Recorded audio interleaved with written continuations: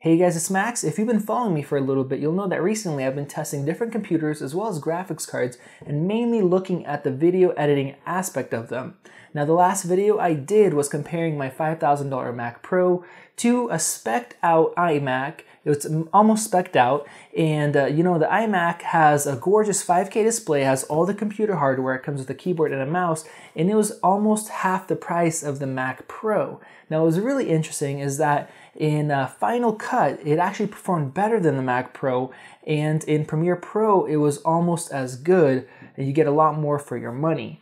Now, from those results, I basically uh, could understand that the reason it performed better is because of the new graphics card that's in it. Even though it has less raw power overall, it's just a newer design and it performs better in OpenCL, which is what you use for video editing in Final Cut. So very interesting testing. Recently, Apple announced their new 2015 version of their MacBook Pro that I have right here. And just like I thought, they actually have an AMD graphics card in it, when in the past versions, like the 2014 one you see right here, they had a NVIDIA graphics card. Now, since I saw that, I was really excited to be able to test it out and see how it performed if we see similar results like we did with the iMac. Now, if you guys want to see uh, the full results, full testing comparison with uh, my previous computer tests that include the Mac Pro, the iMac, and a Hackintosh that I built, you guys can check a link in the video description. That'll take you to my website and then you can see all those results. But in this video, I'll be uh, basically comparing and focusing just on these MacBooks. Now you may be thinking, why don't you just buy the newest, greatest, latest version? And isn't that the only one that's available? Well, if you go to the Apple Store or like a Best Buy, you're gonna see only the 2015 models. They're not gonna be selling the older ones. But if you go to Apple's website, they actually sell refurbished models for about two to three years after it's been replaced so you can get it at a discounted rate. And actually on B&H's website, they sell a brand new 2014 version like this one here for less than what Apple sells refurbished models for. So it's a really good deal. And of course, a lot of people will buy a used one. Now, so is it really worth buying a used one or a refurbished or a new used older model like this 2014 from B&H? Is it worth the money? So if you guys want to get a, a, shortcut answer without watching the video, I have two links in the video description. The first two links, one's labeled Final Cut and one is labeled Premiere Pro. So choose whichever software you use and that's my suggestion if you want to just see the cheat shortcut way of my answer. Now overall the laptops are almost identical but there's a few improvements on the new version. The 2015 one along with that new AMD graphics, it gains an hour of battery life as well as support for 5K displays where the 14 version only supports 4K displays. Now along with that we have a faster SSD in here that's twice as fast but in real life usage and testing, I didn't really notice any uh, noticeable kind of boot up speeds or app loading speeds, anything like that. Now, the last thing I want to mention is the new trackpad. So this new trackpad actually does not click like this older one does when you press down on it. It uses a magnet to simulate a click, makes it, making it kind of feel like there is a click there when there isn't. Now that helps have it have it like a more uniform feel. So no matter where you click on the trackpad, it feels the same.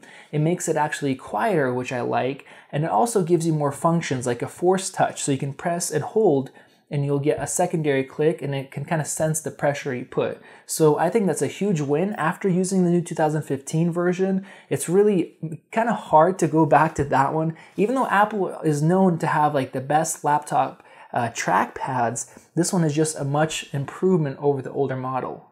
Getting into the test, the raw power of these laptops is nearly identical. They have the same CPUs and the GPUs, even though they're different, as far as raw power, they're very close. You could tell that if you're looking at the Cinebench and the Unigine Heaven results.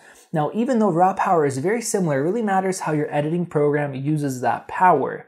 Both AMD and NVIDIA cards support OpenCL acceleration, but NVIDIA cards only support CUDA, and because that's because NVIDIA owns CUDA and they have it locked down to their card. Interestingly enough, MacBook Pros don't come with the CUDA driver installed. So if you just load up Premiere Pro, it's only going to show the OpenCL option. So if you want to use CUDA, you have to go to NVIDIA's website and download the latest drivers. Now in my test results, you guys are going to see uh, for Final Cut, there's only going to be two results. And for Premiere Pro, since on the older version we can use CUDA, you'll actually see three results. So keep in mind, uh, make sure you look at that. Looking at the test results, a clean 1080p 5 minute timeline export is almost identical between all the systems. That's because without any effects, the GPU doesn't get used at all, only the CPU. One thing to notice is how much faster Final Cut renders compared to the Premiere Pro. It's about five times as fast. This is going to be a common difference between all the tests, so make sure you keep that in mind. Adding two LUTs as well as some film grain to the footage, our render times increase. Using OpenCL acceleration, both laptops perform about the same in Premiere Pro, but when we switch to 2014 MacBook, we can use CUDA acceleration thanks to the NVIDIA GPU.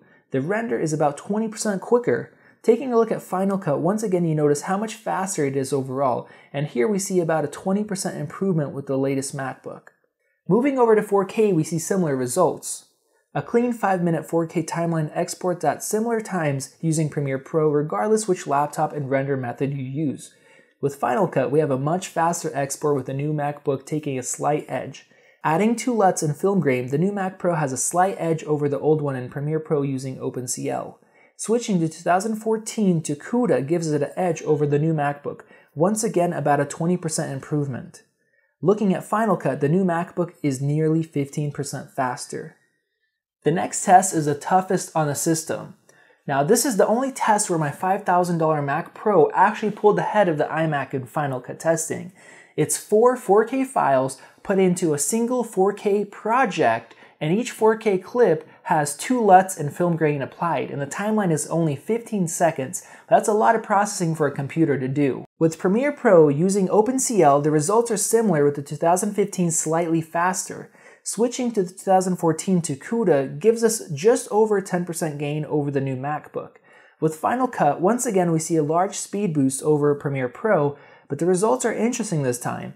Instead of being about 20% faster, the new Mac Pro is about 75% faster, than the 2014 model. With Final Cut, the heavier the workflow, the more it makes sense to get the 2015 model with the new AMD graphics. Now with Premiere Pro on the other hand, it makes sense to get the 2014 model and make sure you just use CUDA to get your gains or else the 2015 model is still faster. The last test is something that I do really often because most of my lenses don't have image stabilization. It's taking a 15 second 4K clip and applying stabilization to it. In Premiere Pro, the results are about equal with the 2014 model using CUDA slightly ahead. Looking at Final Cut, the new Mac Pro is about 20 times faster using Final Cut compared to Premiere Pro and twice as fast compared to the 2014 model when both use Final Cut. So why is Final Cut so much faster? Well, basically in my testing, I could tell that Final Cut just uses your system resources a lot better. If you're wondering about temps, both laptops perform nearly identical. I ran a test where I converted H.265 footage to ProRes LT, and that basically uses 100% of your CPU. Now, both laptops did get fairly hot, but they didn't get hot enough to thermal throttle, so both of them still ran at a turbo boost of 3.1 gigahertz, and they sat right around 95 to 98 degrees, which is definitely hot. Now, when you're video editing, keep in mind it's not going to be getting that hot because your CPU will not be pinned at 100% all the time.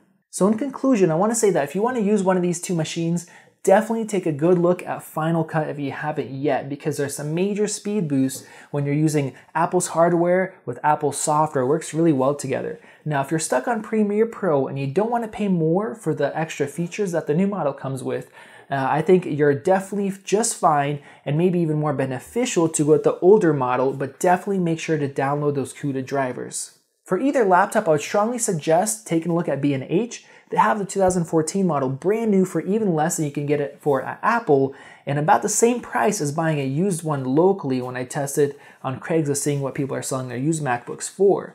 So you also don't have to pay taxes as long as you're outside of New York and they have free one to three day shipping depending how far you are. On this newer 2015 model, right now it's about $150 less than buying it from Apple, and then you there's a good chance you won't have to pay taxes either. So I would definitely recommend taking a look at B&H. Hopefully this video has been helpful to you. If it has, you guys can give me a thumbs up and let me know in the comment section below. And as well, if you have any questions, I will try to answer them. And don't forget, if you guys want to see the full graphs and charts comparing these two laptops to the other computers that I mentioned, check out the link in the video description for my website. Now, if you guys want to follow me on Twitter, it's Max Camera. And then if you guys want to follow me on Instagram, you guys can find me there as well. And I also have a Twitter feed, Max Camera Deals, and that's where I check daily on all the different sites, all the actually legitimate good deals, and I share them with you guys so you guys don't have to look at different sales, emails, stuff like that. And then if you're looking through your Twitter feed, you see something you're interested in that you need to buy, you can get it for a better deal. If not, you can keep going. So thank you guys for watching. Don't forget to subscribe, and I will see you in the next one.